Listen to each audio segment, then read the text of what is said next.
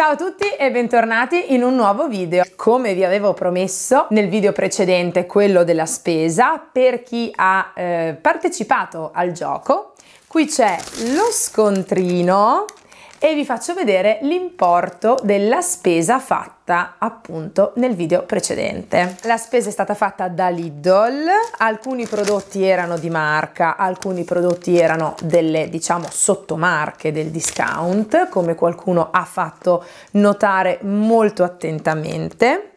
L'importo esatto è 98,64.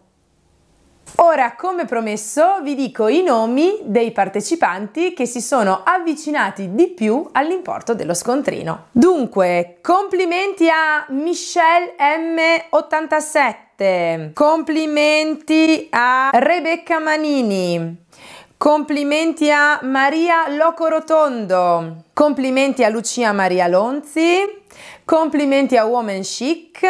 Per tutti gli altri avete dato un importo decisamente più alto rispetto alla cifra. Perciò Complimenti a tutti, grazie a tutti quelli che hanno partecipato, ma soprattutto voglio fare un ringraziamento enorme perché abbiamo superato i 2000 iscritti. Al momento il canale sta andando veramente a gonfie vele, sono contentissima, non potete veramente immaginare quanto io sia contenta di questo risultato. Quindi continuate ad iscrivervi, attivate la campanellina per non perdere nessun prossimo video in uscita e se questo video vi piacerà mettere un bel pollice in su. Se poi avete piacere di cercarmi su Instagram mi trovate come Universo di Carlotta e su TikTok mi trovate come Carlotta Cuberli.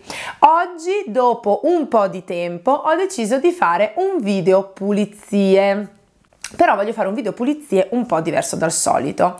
Siccome al momento i bambini sono rientrati a scuola, ma Ginevra è rientrata diciamo part time, quindi io la vado a prendere dopo il pranzo, perciò io ho libera la mattina e quindi devo stringere tutte le cose che devo fare, le devo fare in tempi giusti, in tempi stretti, senza stare a perdere troppo tempo così facendo nulla. Allora mi è venuto in mente, vedendo già degli altri video simili, di fare un video pulizie di tutto quello che riesco a fare nel giro di un'ora, quindi mettiamo il timer e facciamo trascorrere l'ora, ovviamente il video sarà velocizzato perché non può essere un video che dura un'ora, ma vi farò vedere tutto quello che riesco riesco a fare nel giro di 60 minuti. Una precisazione doverosa, oggi a differenza degli altri giorni mi sono svegliata sempre allo stesso orario, però sono riuscita a fare i letti subito appena sveglia, perciò mi sono alzata, ho spalancato la finestra di camera mia e ho cominciato a fare il letto in modo che cambiasse aria, dopodiché ho svegliato i bambini, quando i bambini sono andati in salotto ho spalancato le loro finestre e ho fatto i letti della loro loro stanza. Quindi ho guadagnato credo almeno un quarto d'ora sulla tabella di marcia. È una cosa che voglio ripromettermi di fare quotidianamente, quindi riuscire a svegliarmi sempre, fate conto che io mi sveglio verso le 6 e tre quarti, eh, quindi riuscire a svegliarmi sempre velocemente in modo da poter sistemare quanta più casa prima di uscire di, con i bambini per accompagnarli a scuola, insomma. Però adesso, come al solito, presto che è tardi, partiamo, metto il timer e vi faccio vedere tutto quello che riesco a fare nel giro di un'ora mettiamo il timer, mettiamo 60 minuti, ci siete? E via!